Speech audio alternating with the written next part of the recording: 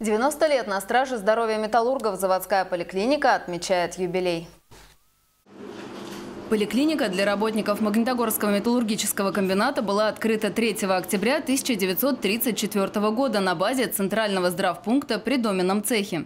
Через несколько лет для нее выделили помещение на первом этаже центральной гостиницы. В 1952 году поликлиника медсанчасти ММК получила новое здание по адресу улицы Кирова, дом 99, где находится по настоящее время. В нем расположился ночной городской травмпункт и дежурил терапевт. Сегодня поликлиника номер один Центральной клинической медико-санитарной части оказывает первичную медико-санитарную, первичную специализированную медицинскую помощь работникам ПАО ММК и обществ группы ПАО ММК. За поликлиникой закреплено более 45 тысяч работников промышленного предприятия. В составе поликлиники цеховая терапевтическая служба, отделение скорой помощи, профилактики, физиотерапии и рентгена, хирургическая служба, женская консультация, травматологический пункт, кабинеты УЗИ и функциональной диагностики, лаборатория, 35 здравпунктов.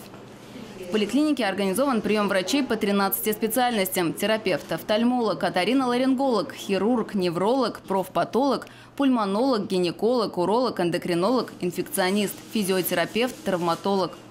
С 1997 года поликлинику бессменно возглавляет заместитель главного врача по амбулаторной базе врач-терапевт Вера Шевелина. В разгар подъема заболеваемости гриппом и ОРВИ медики решили отметить юбилей скромно, без помпезности и громких слов. В эту пятницу в конце рабочего дня они проведут праздничный рапорт в холле родной поликлиники.